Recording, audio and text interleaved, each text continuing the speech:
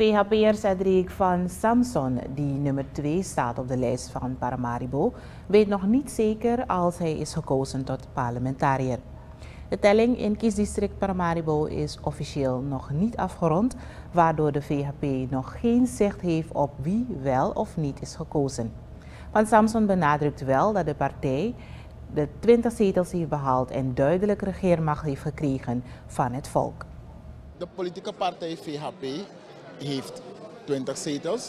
Daar ben ik alvast heel blij mee. Ik ben ook blij dat we ordelijke nette verkiezingen hebben gehad zonder escalaties. Dat Noah Fitti of Fitti Surinamers hebben getoond van we staan. We kunnen netjes omgaan met politiek.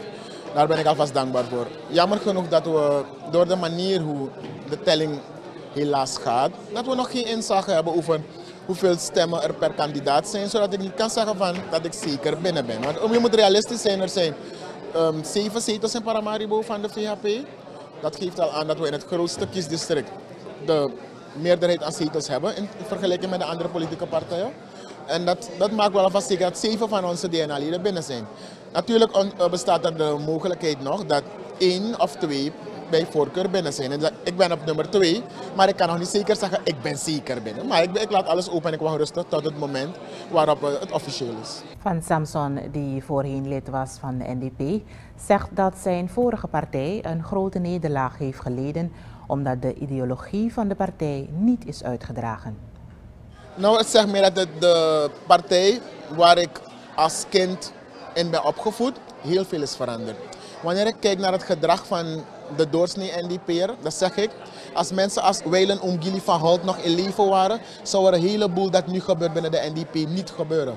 Ik vind het jammer dat de NDP er nu zo, ja, nu zo bij is. Het, het, het, het was niet zo. Het was een partij met respect voor ieder.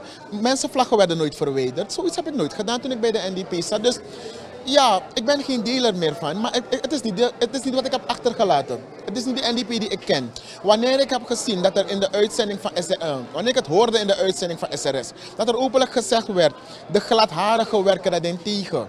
Het is niet de NDP die ik ken. En dat heeft gemaakt dat de NDP is afgestraft. Want al die districten waar die gladharige mensen wonen, hebben de mensen de NDP weggestemd. Omdat men had gedacht dat met die uitspraak van Wankulinom Trump president, dat je daarmee de zwarte mensen achter je zou krijgen. Maar ze vergeten dat de NDP wordt gefinancierd door de Hindoestaanse mensen. Cedric van Samson van de VHP in een interview met onze nieuwsdienst. We spraken hem zaterdag na de proclamatie van de samenwerking tussen de vier oppositionele partijen.